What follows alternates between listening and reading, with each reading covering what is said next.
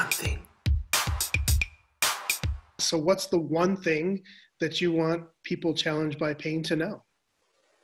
So, it's always hard to come up with one thing, but I think that that where I would always start, the one thing I would want people challenged by pain to know is that their pain is real and that they are believed. Because so often people living with pain have been dismissed and um, they may have been told things that make them think that their pain isn't real or that it's all in their head.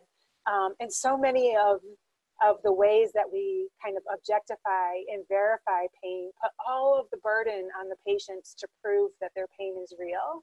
Um, and so I, I want to flip that script and just have us always start from a place of your pain is real and we believe you because I think that would change the whole you know course of, of a therapeutic interaction or clinical interaction um, and provide some really necessary and and invaluable validation for the person in pain that they often don't get. Like especially for for a lot of clinicians they don't think that giving that explicit validation is that important but i absolutely think that it is because they they think that it's kind of implicit and it's not. So so that's where i would start. Just your pain is real and you are believed it might feel like an awkward thing to do, but especially when pain persists for a really long time and people have seen multiple clinicians or healthcare professionals over time, um, it, we tend to take on a lot of the blame for not getting better or for not having answers. And our systems kind of set it up to, to put the, the blame at the foot of the patients.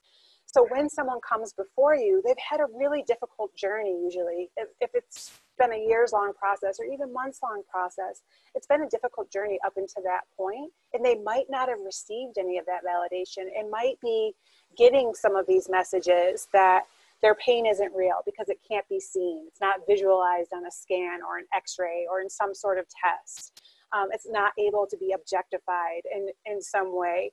And so, because it is subjective, it can be doubted because it is invisible, it can be doubted. So I think it's really, really important to make that validation explicit and that belief explicit because so many people have been doubted and dismissed along their their journey seeking care for their for their pain. Yeah, and, and so once that's happened, what what do you think is the next step?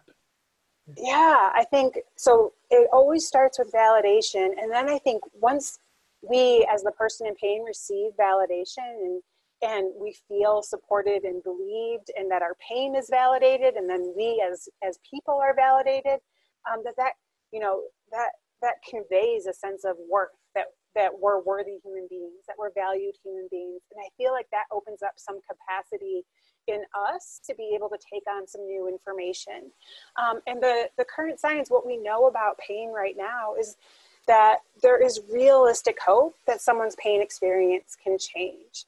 And th- that's where I would go next is providing that, that very realistic hope that, that pain can change because our biology is constantly adapting with our new and repeated experiences. And it's empowering to learn that we have some control over what those new and repeated experiences are that could then change our experience of pain too. So it starts with validation, and I think that opens up the door to be able to start seeing our pain in a different way and then to be able to see that that there are possible paths forward no matter how long we've been in pain for that experience to change and get better and for us to be able to get back to to living our lives and engaging with the things that we value and are meaningful to us um, that we can still be who we are even if it's a little bit differently than it was before.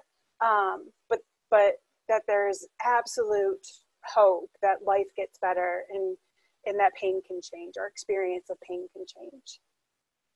Yeah cool. So you're really talking about change rather than you know cure. Yeah and and i think it's it's a really important distinction. At least it was for me in my own experience because i focused for a really long time on just reducing my pain intensity. I wanted the pain to be gone. Um, it wasn't until i started understanding pain differently because the reason I wanted pain to be gone was because I thought that it meant damage. I thought it meant there was some sort of pathology in there that was really bad that had to be found and be addressed. So when I had these notions of pain equals damage or pain equals some kind of pathology, that's really scary. So of course you want it gone. Um, but when I came to a different understanding of, of pain and realizing that it wasn't so scary, it wasn't so threatening to my tissues, to my hip, my pain was in my right hip. Um, I started changing my ideas about how to go forward with that. When I knew I wasn't doing more damage to myself with every painful step or painful movement, I was more able to start engaging with things that mattered to me because I wasn't so worried that I was I was messing up my hip even more, especially after my surgery. Because uh, it's it's really life limiting when you think you're doing more harm to yourself or more damage to yourself, or that things are getting worse because the pain isn't getting better. So for me, I had to change my definition of success.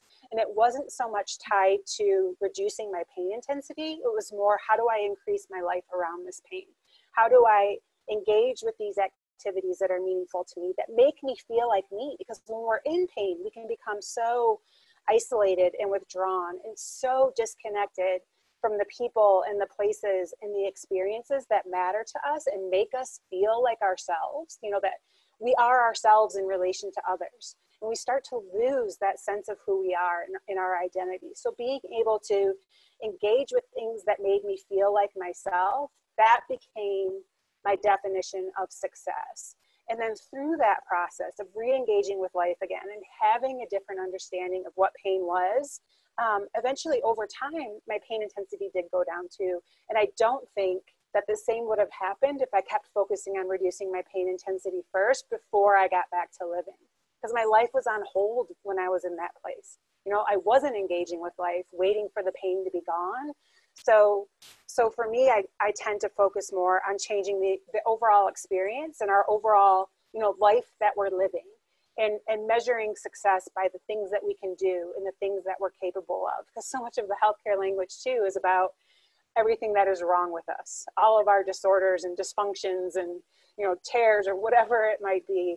Um, if there was one more thing I could do, it would just be change the language kind of that we use and and do more to build people up and focus on their adaptability and their resilience and their inherent strength and courage and all of those things that they have um, and that they've had throughout this this process of pain. So I think the more that we can do that, and the more that we can focus on and living our lives alongside pain, kind of making space for it, our experience of life changes, and then over time, our experience of pain changes as well. At least that's been my experience. Yeah, that's awesome.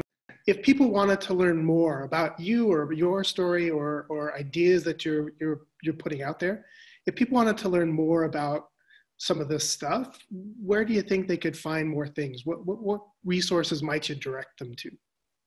Yeah, so I've had a blog called mycuppajo.com, M-Y-C-U-P-P-A-J-O.com, that um, that's where I've made sense of my own experiences. So that was me writing, trying to make sense of things, because that's kind of how I put things together. And um, so you can see over the last six years how I've, I've learned new information, how I started integrating that information into my life and in my reflections and insights onto that. So um, that's for connecting with me directly, that's the best place to go. And there's a contact form on there too that goes directly to my email if anyone wanted to reach out to me that way.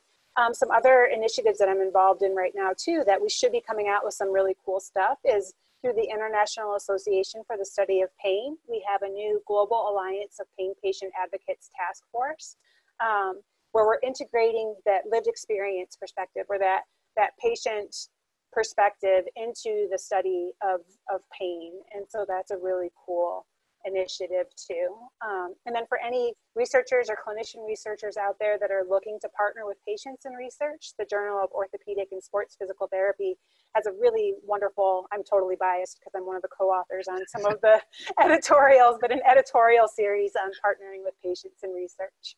Um, so I would say those are the, the big three. That's fantastic. Yeah. So thank you very much for your time. We'll let you get back to your day. Thanks so much. And thanks for having me. Very cool. Yeah. you know what I mean. Yep, I do. Bye.